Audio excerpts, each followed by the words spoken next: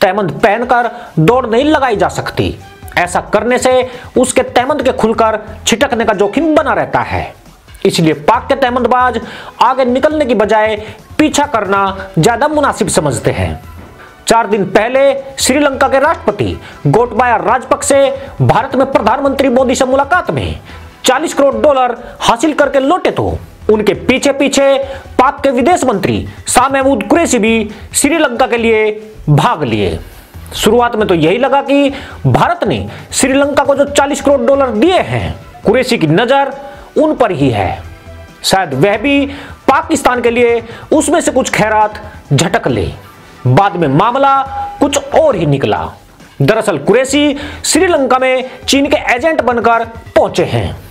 राजपक्षे के राष्ट्रपति बनने के बाद यह चर्चा जोरों पर थी कि वह चीन के समर्थक हैं।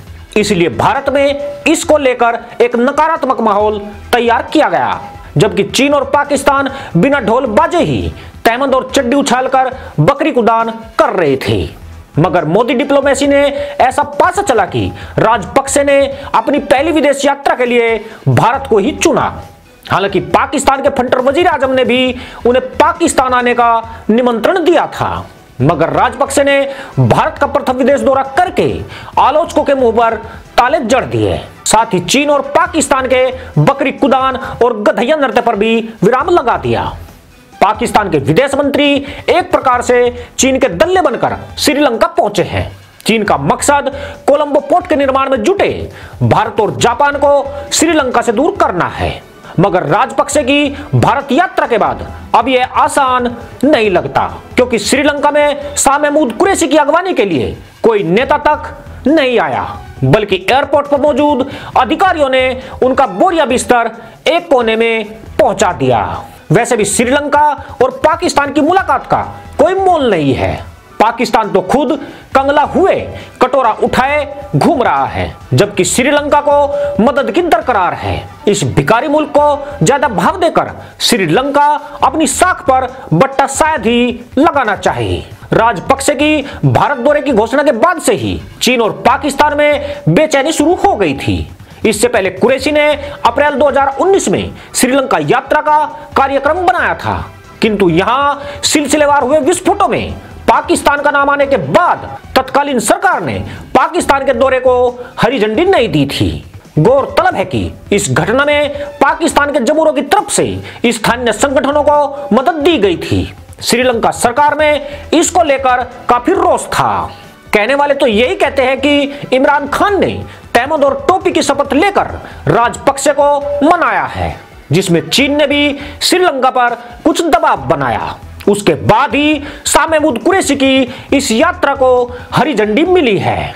इस वक्त पाकिस्तान भारत की कूटनीति के जाल में बुरी तरह उलझकर कसमसा रहा है। हालत यह है कि चीन को छोड़कर कोई भी पड़ोसी देश उसको अहमियत नहीं दे रहा। श्रीलंका की क्रिकेट टीम का पाकिस्तान में जाना भी चीन के दबाव का असर माना गया है। चीन की चालबाजी है कि वह पाकिस्तान को श्रीलंका के करीब लाए। इसके लिए 8 दिसंबर को पाकिस्तान अपनी टीम को दो टेस्ट मैच खेलने हेतु श्रीलंका भेज रहा है। यानी पाकिस्तान क्रिकेट मैच के बहाने अपनी नैया पार लगाना चाहता है। ऐसा ही एक असफल प्रयास उसने बांग्लादेश की महिला क्रिकेट टीम को पाकिस्तान बुलाकर किया था। पर इससे पाकिस्तान की आतंकवाद प्रस्त नीतियाँ खत्म हो जाएगी, ऐसा बिल्कुल भी नहीं लगता है। खासतौर से पाकिस्तानी मूल के उस्मान खान ने ब्रिटेन में जो झंडे गाड़े हैं, उससे पाकिस्तान को काफ़ी ख्याति मिली है, जिससे पाकिस्तान एक बार फिर सुर्खियों में है। इसका असर भी श्रीलंका में देखने को मिला, जब शाह महमूद कुरैशी के दल में गए कुछ लोगों से पूछताछ की गई। श्रीलंकाई अधिकारियों को संदेह था कि उनके साथ आईएसआई के कुछ अधिकारी भी आए हैं, जिसके बाद बारीकी से छानबीन की गई। चौंकाने वाली बात यह है कि पाक के विदेश मंत्री को अपनी श्रीलंका यात्रा का मकसद ही नहीं पता है, क्योंकि इस यात्रा में न कोई समझौते का मसौदा है और न किसी विशेष मुद्दे पर वार्ता का कार्यक्रम तय है। श्रीलंका का विपक्ष सरकार से यही सवाल पूछ रहा है कि पाकिस्तान के विदेश मंत्री का यह दौरा किस लिए है? यानी स्पष्ट है कि अब शाह महमूद कुरैशी श्रीलंका जाए या चीन के वांग किसान। भारत के पीएम नरेंद्र मोदी ने श्रीलंका को भारत का खास दोस्त बनाने की जो नीति तैयार कर दी है, उसको अब ये दोनों मात नहीं दे सकते। कुरेशिया चीन के दबाव में कोलंबो पोर्ट पर भारत और जापान का प्रभुत्व तब नहीं हो सकता। इसके लिए चीन और उसका जमूरा बेशक कितने भी हाथ पाँव मारने की कोशिश भले ही कर ले। आशा है दोस्तों, वीडियो पसंद आया होगा, आपसे शीघ्र भेंट होगी, तब तक के लिए अनुमति दीजिए। जय जवान जय किसान जय हिंद वंदे मातरम।